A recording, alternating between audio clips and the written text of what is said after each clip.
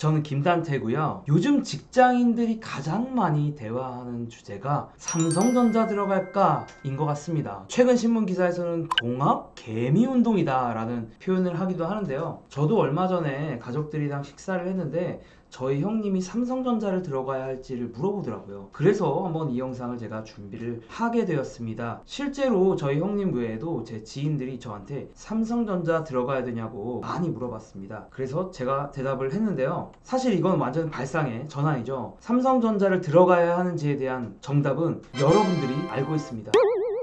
아, 나가, 나가지 마시고요. 이게 무슨 얘기냐면 좋은 투자는 자신이 가장 잘 이해하는 투자이기 때문입니다. 하, 이거 왜 공자님 같은 소리나 하고 있나 싶죠. 안 그래도 얼마 전에 본 슈카월드에서도 자산 배분 투자자들은 공자님 같은 얘기만 한다던데 제가 딱 그런 형국이죠. 왜냐면 제가 이런 얘기를 하는 이유는 잘 이해해야 손실일 때 잘 버틸 수 있기 때문인데요. 여러분들이 삼성전자에 대해서 얼마나 이해를 하고 계시는지 제가 질문지를 준비해 봤어요. 저는 여러분들이 삼성전자에 투자하신다면 이런 질문들에 대해서는 쉽게 대답할 수 있어야 된다고 생각을 합니다. 첫 번째 질문입니다. 삼성전자 시가총액은 얼마일까요? 여러분들 그 주가를 말하는 게 아니죠. 여기서 시가총액이라는 건 주식 곱하기 전체 발행 수를 말하는 거죠. 다시 말해서 얼마의 돈이 있어야 삼성전자라는 회사를 100% 소유할 수 있는가라는 겁니다. 그거를 답하실 수가 있어야 되고요. 그 다음에 다른 반도체 회사들의 시가총액은 과연 얼마나 될까요? 예를 들면 SK 하이닉스나 TSMC 같은 회사들이 있겠죠. 여러분들이 지금 TSMC가 뭔지 모르신다면 사실 삼성전자에 투자를 하시면 안 되는 거예요.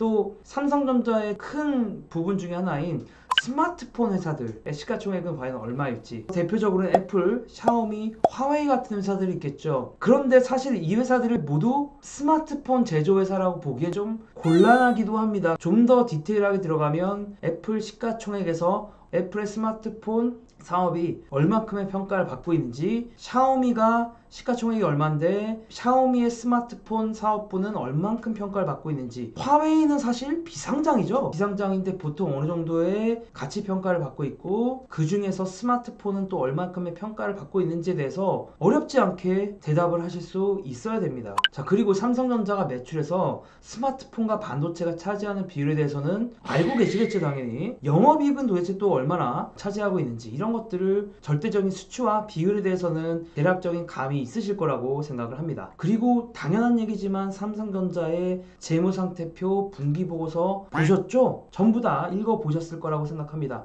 자신이 투자하는 기업이라면 그런 호기심과 궁금증은 기본이니까요. 그 다음에 이제 삼성전자 많은 애널리스트 보고서들도 당연히 보셨을 텐데 그런 전망에 대해서 일반적인 애널리스트들이 갖고 있는 전망과 다른 의견이 있고 그 다른 부분들이 어떤 부분인지에 대해서도 설명하실 수 있어야겠죠. 그리고 이제 아마 많은 분들이 그 코로나 바이러스 자체가 곧 회복될 거라는 어떤 믿음이 있으실 텐데 그렇다면 왜 하고 많은 기업들 중에서 삼성전자를 선택하셨는지에 대해서도 말씀하실 수 있어야 됩니다. 네, 왜 삼성전자인가요? 더 많이 떨어진 기업들이 분명히 있을 텐데 왜 삼성전자인지 아, 혹은 더 적게 떨어진 기업들도 있을 텐데 왜 삼성전자인지 각 섹터들 중에 다양한 반응을 갖고 있는데 왜 삼성전자인지에 대해서 얘기를 하실 수 있어야 될 것 같고요. 삼성전자의 여러분들이 생각하신 적정 시가총액은 얼마인지 어, 이것도 얘기를 하실 수 있어야겠죠. 사실은 제가 드리고 싶은 첫 번째 질문이기도 한데요.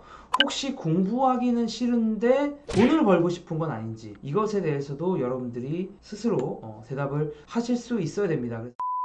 근데 아마 애널리스트들 혹은 펀드 매니저들은 제가 방금 얘기한 질문들에 대해서 대부분 쉽게 대답할 수가 있거든요. 자, 여기서 말하는 펀드 매니저들은 국내 펀드 매니저들 뿐만 아니라 삼성전자에 보통 들어오는 사람들은 외국인들도 아주 많기 때문에 외국인 펀드 매니저들에게도 해당되는 건데요. 그들과의 눈치 게임에서 여러분들이 이길 수 있을까요? 보통 이런 눈치 게임에서 이기기 위해서는 물론 여러분들이 아주 운이 좋을 수도 있겠지만 여러분들이 더 많은 지식을 갖고 있어야 되거든요. 그들과의 눈치 게임에서 승리할 수 있을까요? 이런 의문들이 들고요. 제가 너무 많은 태클을 거는 게 아니냐 라는 생각이 들 수도 있을 것 같은데 당연히 삼성전자 안 망하겠지라는 어떤 믿음이 있으실 거라고 생각을 해요. 저도 삼성전자가 망하지 않을 거라고 생각을 하는데 삼성전자가 과연 제값을 받을 수 있을까? 이것에 대해서는 궁금증이 있습니다. 이건 마치 이런 거거든요. 한국에서의 이제 삼성전자의 위상은 마치 축구 선수에서의 메시와도 비슷하겠죠. 메시는 저는 당연히 물론 이제 축구 시즌이 올- 올해 뭐, 뭐 취소가 된다, 뭐 어떻게 된다, 뭐 얘기는 있겠지만 저는 메시라는 선수가 올 시즌도 안 망할 거라고 생각을 하는데 메시가 자신의 연봉값을 할 수 있을지에 대해서는 의문을 갖고 있어요. 그 값을 할 수 있을까? 이런 의문이 있고요. 물론 여러분들이 그런 생각을 하실 거예요. 배당을 줄 테니까 가격이 떨어져도 배당을 받으면서 버티면 돼. 라는 생각을 하고 있는데 또 보잉 같은 최악의 케이스도 생각이 나는 거죠.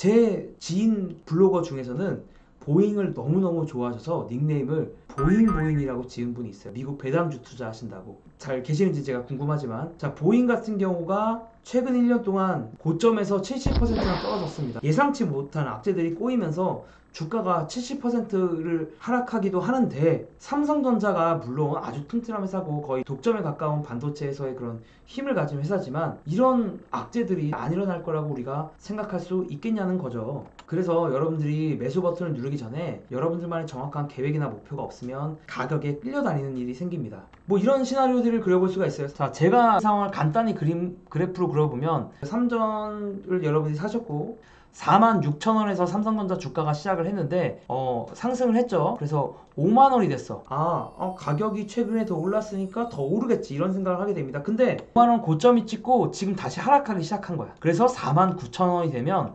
여러분들이 이거를 쉽게 입절을 못 합니다. 생각보다. 왜냐면 아 삼성전자 저번에 5만 원이었는데 5만 원이 자꾸 생각이 나거든요. 근데 4만 8천 원이 되면 또 입절을 못해. 왜냐면 아까 고점이 자꾸 생각나는 거야. 5만 원이나 4만 9천 원이 계속 아른아른 거리거든요. 최악이 뭐냐면 아까 방금 말씀드렸던 이 상황에서 다시 본전보다도 못한 가격으로 떨어지는 거예요. 내가 4만 6천 원쯤에 샀는데 4만 4천 원이 되는 거죠. 혹은 거기서 더 떨어져서 4만 원까지도 가는 거예요. 그러면은 여러분들이 어떻게 되냐면 비자발적인 가치 투자를 하게 됩니다. 원래 내 계획엔 없었는데 어, 이 가격에 끌려다니는 거죠. 아 그냥 삼성전자 좋은 주식이잖아 안 망할 거니까 난 계속 갖고 있을 거야 이런 생각을 하면서 어, 물리게 되는 거죠 장기적으로.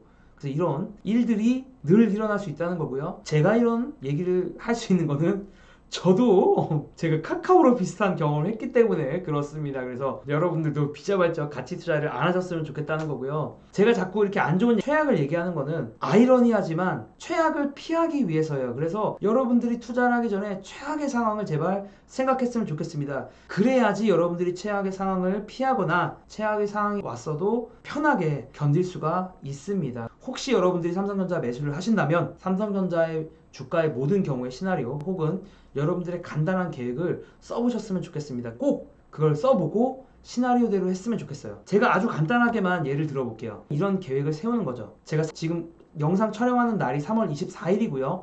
삼성전자의 주가가 약 46,950원인데 그러면 이런 식으로 해보는 거죠. 3월 25일 날 여러분들이 3분의 1 정도 매수를 해보고 만약에 삼성전자의 가격이 45,000원으로 떨어져요. 그럼 3분의 1 정도 또 매수를 해보고 4만 원으로 떨어지면 또 3분의 1 정도 매수를 해보는 거죠. 그런데 여러분들의 목표 주가는 5만 원입니다. 근데 저는 한 달 이상 투자할 생각은 없기 때문에 지금 3월 24일부터 한 달인 4월 24일까지 목표의 주가에 도달하지 않으면 4월 24일에 다 판다. 자, 오해를 하시면 안 되는 게 이 계획대로 하라는 얘기가 아닙니다. 저는 어떤 계획의 샘플을 여러분들한테 보여드린 거예요. 이렇게 하라는 거 절대 아닙니다. 그리고 저는 삼성전자를 투자를 안 하고 있고 아마 앞으로도 투자를 안 할 가능성이 아주 높습니다. 왜냐면 크게 두 가지예요. 제가 했던 이 질문들에 대해서 제가 명쾌하게 대답할 수 없기 때문이고요. 그 다음에 또 두 번째는 제가 경쟁자들 대비해서 더 투자를 잘할 자신이 없어요. 그래서 저는 삼성전자에 투자를 하지는 않을 것 같습니다. 삼성전자 투자에 대한 얘기를 하다 보면 전 데자뷰가 좀 일어나거든요. 그래서 비트코인이 참 생각이 납니다. 요즘의 삼성전자랑 참 비슷한 게 어, 물론 시간이 한 2년 정도 전이긴 하지만 직장인들의 단골 대화 주제였죠. 뭐 거의 동학 코인 운동이라고 해야 되지 않겠습니까? 수많은 직장인들이 정말 가상화폐 투자를 했었고요. 가상화폐 2017년 말부터의 그래프를 보면 어쨌든 초반에 상승세는 무서웠습니다. 그래서 300, 400만 원에 들어가신 분들도 많은 걸로 알고 있는데 대부분이 손해를 본 거죠. 물론 소수의 돈 버신 분들도 있지만 대부분은 손해가 났죠. 이게 왜 그렇냐면 300, 400만 원에 들어가도 이익이 나면 나는 대로 더 들어가기 때문이에요. 300, 400에 들어갔더니 내가 한 7, 800에 팔았어. 근데 비트코인 가격이 1000만 원을 가는 거야. 그럼 배가 아프잖아. 그러니까 또 1000만 원이 들어가고 또 그러다 보니까 1500만 원이 들어가고 그러다 보니까 또 2천만 원이 들어가고 비트코인이란 자산군이 2017년에 거의 20배 가까이 30배 가까이 올랐는데도 계속 따라 들어가는 거예요 오르다 보면. 그러다 보니까 정작 그 가격의 휘둘림 속에서 수익을 거둔 사람은 극소수만이 존재하는 그런 상황이 된 거죠. 그래서 제가 계속 말씀드리고 싶은 거는 여러분들이 삼성전자를 투자하건 비트코인을 투자하건 혹은 어떤 자산을 투자하건 계획이 있어야 되고 그 계획대로 반드시 수행을 하셔야 여러분들이 최악을 피하거나 안정적인 수익을 거둘 수 있다라는 겁니다. 어쨌든 여러분들이 삼성전자에 투자를 하신다면 꼭 수익을 얻기를 기원하면서 오늘 영상을 마쳐보려고 하고요. 투자와 관련된 좋은 이야기들, 의미 있는 정보들을 전달 드릴 테니까 좋아요와 구독 그리고 알림 설정 부탁드리도록 하겠습니다. 감사합니다.